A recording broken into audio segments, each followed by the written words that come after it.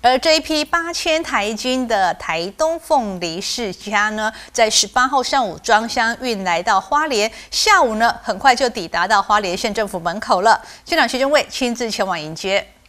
为开拓台东凤梨世家内销市场，台东县长劳庆林日前号召各县市首长、农渔会及企业订购，受到各界热情响应。在七日内突破十五万斤，同为花木兰联盟的花莲县也展现女力首长挺农民拼经济的决心，以实际行动力挺世家小农度过销售寒冬，期望在年前全力刺激买气，将好事带回家。从一月初开始啊，台东县政府就针对呃原来是外销的凤梨世家呢，向国内的好朋友来推荐。那我们非常感谢呃我的市长、县市长的好朋友们哦，每一个人都。义不容辞哦，来把这样这么好的一个水果来呃购买哈，并馈赠乡亲。那我们今天呢非常高兴，我们今天出货的这一箱是我的好姐妹花莲徐县长一口气才买了七千斤。那么今天第一批呢，呃就要从台东出发，那希望呢他们能够平平安安到达花莲县，让我们的花莲乡亲品尝全台第一名品质的凤梨世家。同为花木兰联盟的花莲县，在县长徐正伟号召下，目前已购买破八千台金。